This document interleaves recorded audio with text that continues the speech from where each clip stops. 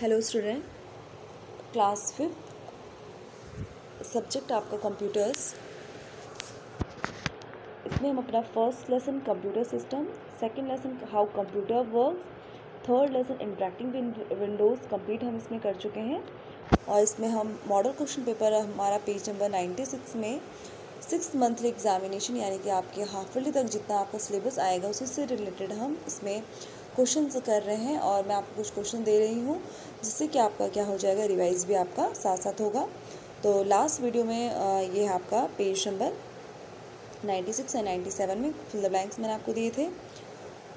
तो यहाँ देखिए मॉडल क्वेश्चन पेपर है आपका वन टू थ्री लेसन है page number ninety six and ninety seven पहला फिल द ब्लैंक्स है आपका instructions that make the computer operational are termed as system software यहाँ पे आपका सिस्टम सॉफ्टवेयर है। यानी कि आप जो कंप्यूटर को ऑपरेशनल बनाता है, जो भी भी आप कंप्यूटर को कोई इंस्ट्रक्शंस देते हैं कुछ काम करने के लिए कहते हैं तो वो किसके थ्रू होता है? वो कौन करता है? और उस डेफिनेशन को हम क्या कहेंगे?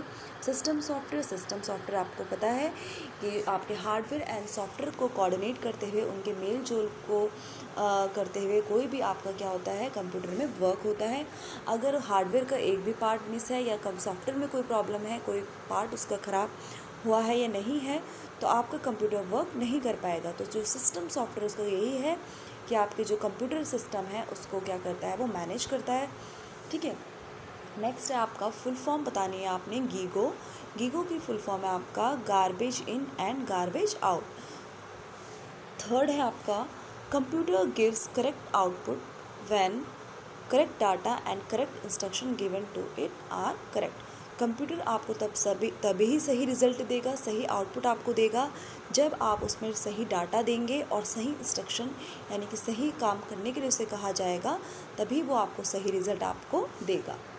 नेक्स्ट है आपका output that computer provide us after processing the data is called information जब आप कंप्यूटर में कोई काम करने के लिए उसे कहा जाता है, कोई इंस्ट्रक्शन दी जाती है, कोई कमांड दी जाती है तो उसमें जब प्रोसेसिंग हो जाती है, काम उसमें डन हो जाता है, काम हो जाता है, आपको जो रिज़ल्ट दिखता है, जो आपको रिज़ल्ट शो होता है, उस रिज़ल्ट को हम क्या कहेंगे? इन्फॉर्मेशन नेक्स्ट है आपका multiple items can be selected from Dell check box list आपको पता है कि जो आपकी चेक बॉक्स लिस्ट है, उसमें आप एक समय पे बहुत सारे आइटम्स या बहुत सारी चीज़ें आप उसमें क्या कर सकते हैं? एक समय पे आप अपने काम के अकॉर्डिंग उसमें सेलेक्ट कर सकते हैं।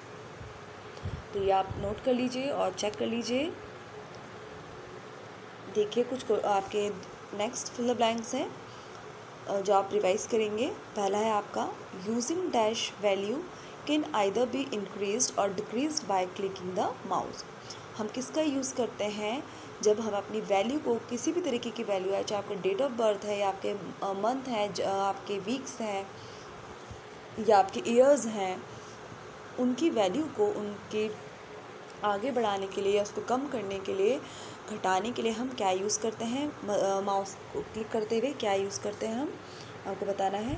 नेक्स्ट है dash and dash are the two types of menus that get displayed in Windows जब भी आप कोई प्रोग्राम ओपन करते हैं तो जो उसकी विंडो आपके सामने शो होती है स्क्रीन पे तो दो तरीके के मेन्यू आपको दिखाई देते हैं।